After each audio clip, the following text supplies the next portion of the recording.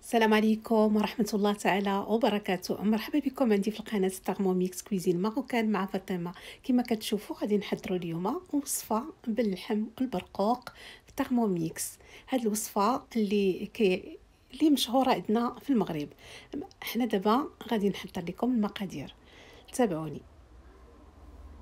مقادير عندي أربعة البصلات اللي أنا قطعتهم وغادي يشلضهم لنا الروبو ترموميكس كما كتشوفوا غادي ندير آه vitesse 5 5 secondes يعني خمسة ثواني سرعة خمسة غادي نشلضو البصلة هاد الوصفة اللي هي باينة معروفة كنحتاجو فيها كيلو ديال اللحم والعطرية اللي غادي نديرو فيها والبصلة والزيت والماء باش غادي طيب طبعا.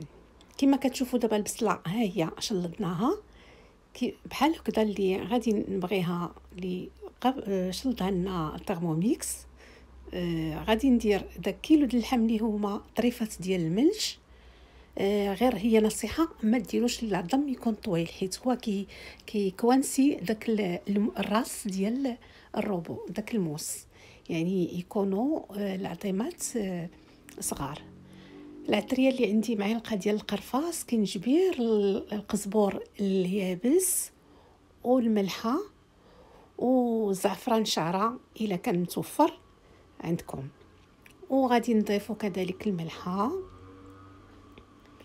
الملحة وعلى حسب الذوق طبعا. وغادي نضيف خمسين غرام من زيت الزيتون.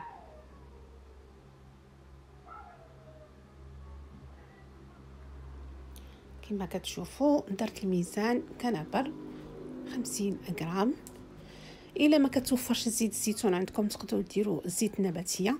دابا غادي نبرمج الروبو على عشرة ديال الدقائق.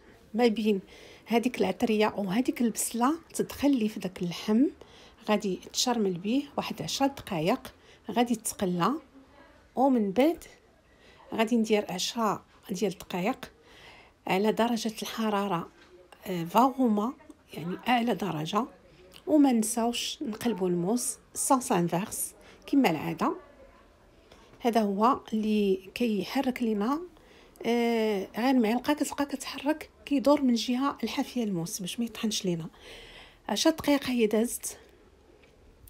اللحم ديالنا ها هو آه تقلى بهذيك العطرية.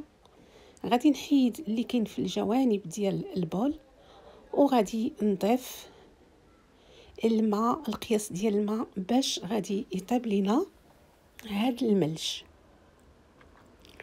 الماء اللي غادي نضيف غادي يكون سخون ما نضيفوش الماء بارد باش ما يكزش لينا اللحم. وغادي نعبر بالميزان 450 غرام من الماء. غادي نضيف معلقة ديال السمن. هو اختياري كاين اللي ما كيبغيش المذاق ديال السمن كيجي مجهد ما يديروش. من بعد ما درت السمن أنا غادي نغطي دابا على آه le bol. درت ال couvercle مع ال gobelet وغادي ن programmer 40 دقيقة en cuillère ما نساوش دائما ال sens inverse غادي نديرو 40 دقيقة. اعلى درجة هي ضرومه في الحرارة. وغادي نبرمج يعني ندير السرعة ديال معلقه غادي يبقى غير يحرك لي صافي. من بعد 40 دقيقة أنا معكم دابا ملي يوجد لينا الطبق ديالنا. ها هو دازت 40 دقيقة. هانتوما شوفوا معايا الطبق. طايب مزيان. يعني اللحم ديالنا طاب مزيان. آه غادي نحطو في الطبق التقديم كما انايا قبل راني وجدت البرقوق واللوز اللي هو حمرته والبرقوق اللي عسلته هاد القضية كلشي كل واحد كيعرف يصايب هاد آه البرقوق واللوز.